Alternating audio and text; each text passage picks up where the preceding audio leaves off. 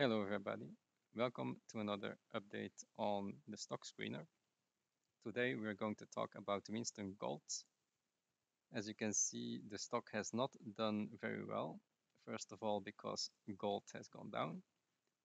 But second, they had some problems with their mill. So they had to replace some parts and they have finally done that now. And the mill is up and running. So we had a news release just came out today. And they said that about 338 tons were processed over six days. So when you divide it by six, that's about 56 tons per day. So that's about half capacity of their mill because 150 is their current capacity. So they have probably only used half of the mill just to do a testing.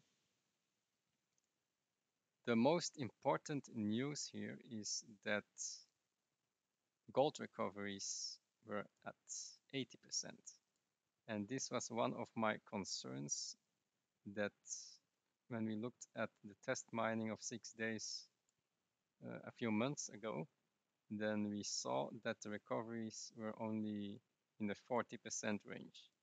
They have added a Wilfley table and they have done some reagent uh, chemical tweaks and added some new floaters. Uh, what did they do? They also added Knelson concentrators. So they have done a lot of work and now the recoveries have gone to 80%, which is very good news. This 80% will probably go higher when they optimize it more in the coming months. So this is the most important news that we have. Apparently they used some chemical reagent mix, uh, updated the mill feed size, and that has uh, improved it a lot. So they have actually achieved their goal. They still need to update some extra parts here, but that's not that important. So the mill is performing very well. 80%, we talked about that tailings extended. So the new bearings are performing very good, flawlessly. Added some pressure switch. So here they say uh, that they are using 50% charge. And they also hired some new employees.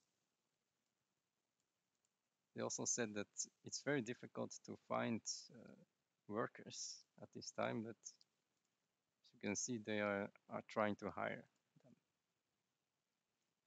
Okay, so overall, it's very good news. Let's take a look at the valuations. So I inputted 80% here at the current capacity with grades of 10 grams per ton and AISC of 1050. The gold price is 1750 now market cap is 26. So when we look at the chart, it says that we are undervalued. The market cap has gone down, but uh, the estimated value should be higher, about almost double higher, with a EBITDA multiple of 5. So this is a very good entry point if you want to buy Winston Gold especially gold. I think gold is going to bottom out soon. So this should go up to its value of 40 million dollars. And this is not the only thing, of course. This is only phase one. Okay. Target 150 tons per day is phase one. They will start mining from block 93, which will be upgraded to 250 like this. They can easily just upgrade that mill again and then we would go from 26 to 70 so that's almost a threefold potential then next year they will go from 250 to about 300 370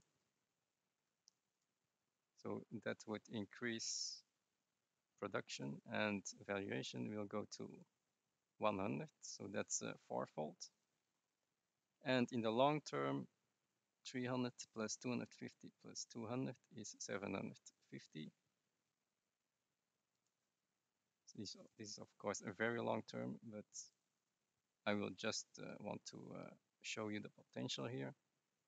So the potential is 750 tons per day in the long term. So that would give you almost a tenfold from 26 to 200 this is the long-term game with Winston Gold. If you want to get into this now is the time to do so hope you like this update and I'll see you next time. Bye